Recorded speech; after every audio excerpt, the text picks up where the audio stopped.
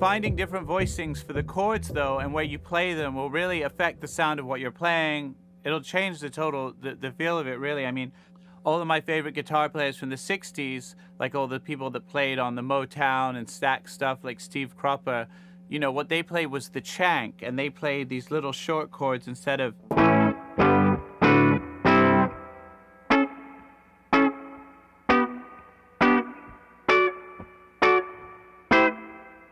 Just finding those different places to play on the neck will really alter the feeling of it. That's much more of like a kind of soulful feel to me.